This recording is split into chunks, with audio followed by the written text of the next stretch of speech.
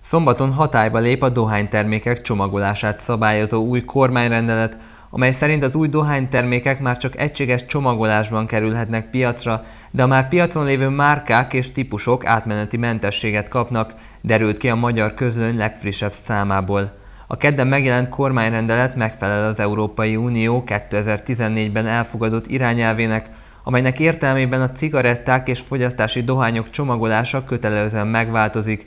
2017. május 20-ától már csak olyan dohánytermékek lehetnek kiskereskedelmi forgalomban, amelyek csomagolásának elő- és hátoldali felületét 65%-ban képpel kombinált szöveges figyelmeztetések fedik.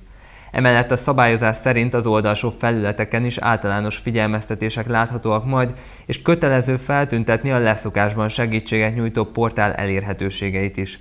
Ezen felül a magyar szabályozás bevezeti a dohányáruk egységes csomagolását is. Ennek értelmében augusztus 20-ától új márkájú vagy típusú cigarettát, illetve fogyasztási dohányt már csak olyan csomagolásban lehet piacra dobni, amelyben jelzés, illetve védjegy nincs. A már piacon lévő márkákat és típusokat 2016. december 31-ig lehet gyártani, importálni, bejegyzett kereskedő által fogadni és 2017. május 20-áig lehet forgalomba hozni. A fokozatos átállást biztosítja a rendelet, de legkésőbb 2019. május 20-ától már csak olyan dohánytermékek lehetnek a trafikok polcain, amelyek megfelelnek az augusztus 20-án hatályba lévő szabálynak és egységes csomagolásban vannak.